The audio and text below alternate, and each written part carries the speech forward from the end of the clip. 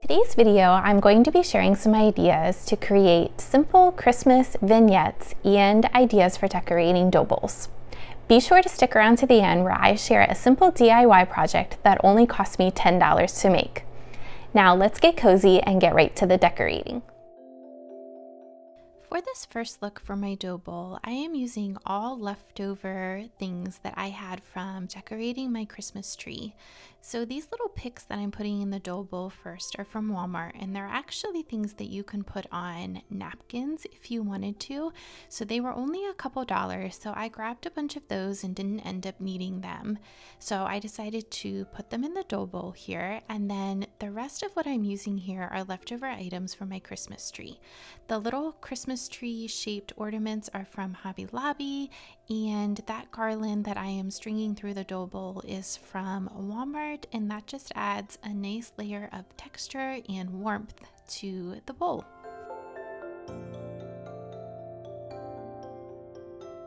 Stay tuned until later where I show you a second look for this dough bowl.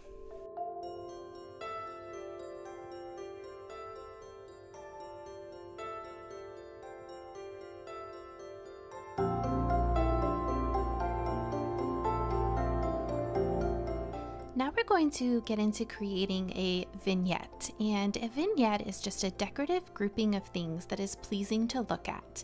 When creating these, I really like to work with groups of three or odd numbers as it's more pleasing to the eye to look at. So here I'm just adding some Christmas trees in the background of some varying heights. And then I'm going to add actually one of my favorite books here, which is The Cozy White Cottage, just as a layering piece. And then I'm just going going to continue to build from there. I'm going to add this cute little napkin that has the word Mary on it, and then uh, I'm just going to continue working and layering in some other pieces.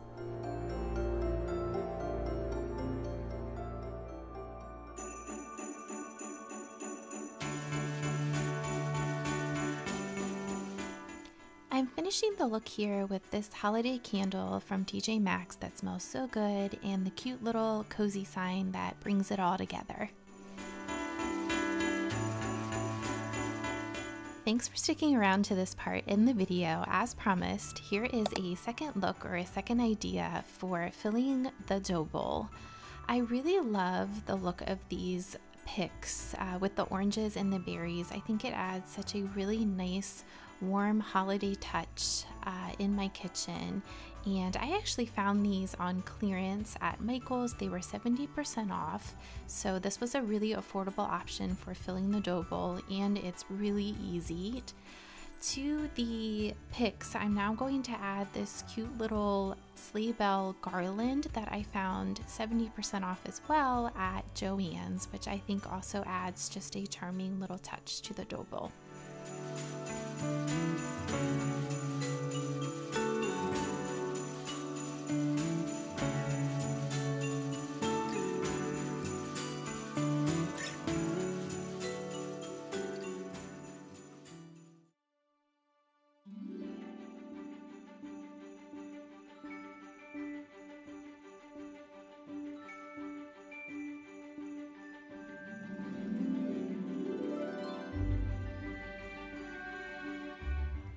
This little DIY project only cost me $10 to make. The only thing that I purchased were the jars from Walmart. Everything else was leftover decor that I am using to fill them. That little house is actually an ornament that I just cut the string off of. I'm using bottle brush trees to add just a little more coziness to the look.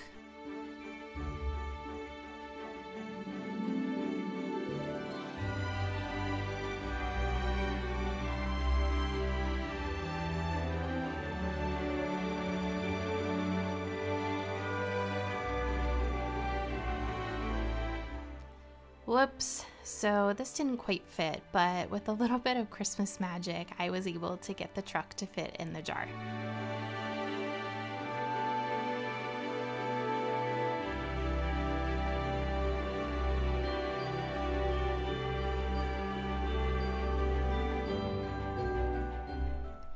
So to finish off the look and add just a little bit more charm and coziness, I added some velvet red ribbon and then some pine cones to the top of the jars.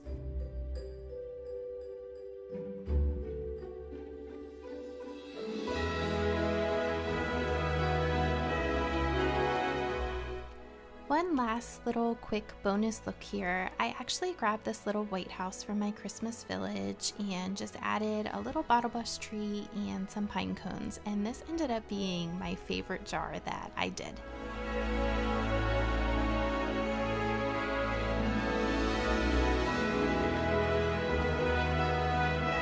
Thanks so much for spending time with me today. Remember to hit that subscribe button so you don't miss out on any of my upcoming content. Have a merry and cozy Christmas.